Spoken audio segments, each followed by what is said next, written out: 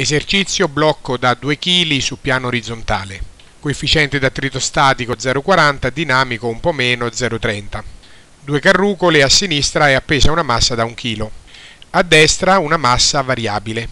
Per prima cosa c'è da dimostrare che se la massa MB non viene appesa per niente, quindi MB uguale a 0, il sistema scivola verso sinistra. Questa cosa non è scontata perché l'attrito potrebbe tenere fermo il sistema. Quindi all'inizio dobbiamo dimostrare che l'attrito non è in grado di tenere fermo questo sistema in assenza della massa MB. Tra poco lo dimostreremo, per adesso prendiamolo per buono.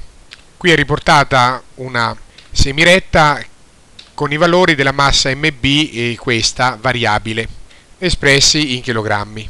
Quando la massa MB vale 0, abbiamo che abbiamo visto che il sistema si muove a sinistra perché l'attrito non è in grado di trattenerlo. Adesso cominciamo ad aumentare progressivamente questa massa da 0 fino a 1 eh, grammo, 2 grammi, 3 grammi e così via. Si arriverà a un certo valore da scoprire, che chiamiamo MB1, che sarà in grado di trattenere fermo il sistema, cioè il sistema scivolava verso sinistra, quando MB raggiunge un certo valore è in grado di trattenere fermo il sistema che non scivolerà più a sinistra. C'è da trovare questo valore e eh, anticipiamo che sarà 200 grammi.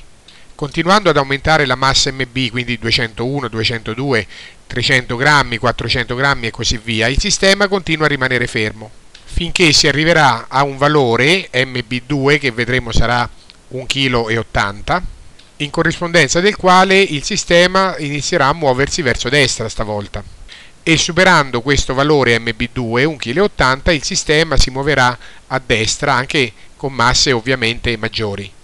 Perciò in conclusione c'è tutto un intervallo di valori eh, di MB compresi tra 0,2, eh, 0,20 e 1,80 kg dove il sistema rimane fermo. Dunque riassumendo, sotto a 0,20 kg il sistema si muove a sinistra, fra 0,20 e 1,80 il sistema rimane fermo, sopra a 1,80 kg la massa MB il sistema si muove a destra. C'è da calcolare eh, MB1 e MB2, questi due valori, dopo aver dimostrato che con MB uguale a 0 il sistema si muove a sinistra.